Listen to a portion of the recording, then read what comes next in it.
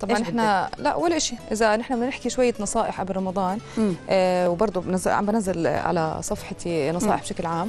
بس إنه خلينا نتأكد قبل رمضان إنه البهارات كلها اللي عندنا طازة. وإذا عندنا بهارات قديمة من السنة الماضية من رمضان الماضي يفضل نتأكد من ريحتها ونتأكد إنها هي جديدة. وأذكى شيء أذكى شيء إنه نروح على العطار نشتري القرفة عيدان نشتري كل شيء الفلفل الأسود وخليه يطحنه قدامنا ونحطه بمرتبانات عشان يطلع أكلنا مميز صح. برمضان. وكثير انتبهوا على موضوع السكاكين تكون السكاكين كلها حادة عشان ما تغلبك بالطبخ وكمان ننتبه على الطناجر أنا بف... يعني كثير بحب إنه نشتري طناجر اللي بتوزع الحرارة بالتساوي عشان الرز يطلع كله مرتب فيش شيء مستوي شيء مش مستوي شيء مخبص شيء مش مخبص وكمان الطناجر تكون ما بتلزق عشان الجلي رح يكون كثير 100% فيفضل إنكم تجيبوا من الطناجر اللي ما ما صح بتلزق. وهو أهم شيء ما نبالغ يعني هو شهر رمضان شهر طبعاً. كريم وشهر فعلا في صيام ولكن بس في طبخ آه إجباري لا يعني. لازم في طبخ طبعا بس قصدي يعني- ما نبالغ بالأصناف لأنه فعلا بوصل آه. الواحد ساعة الفطور مش كتير بيقدر ياكل يعني. آه طبعا. إذا أخذ السلطه اللي بنعملها. الأصناف آه. يعني إنه الواحد آه، على يعني مش ضروري نبالغ بمو قد إيه يكون بال- في أصناف وقد إيه في أصناف يكون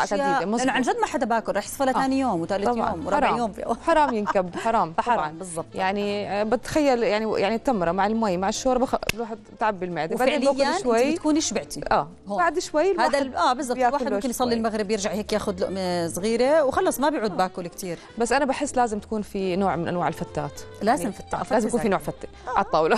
حلو مش مكلف نحن عملنا كتير. صغير آه وعم بنزل كمان أنا يعني فتات. بذكرهم ب كثير في فتات هلأ فتة. الدجاج وفتة ال أنا أنا لحالي عملت تسعة.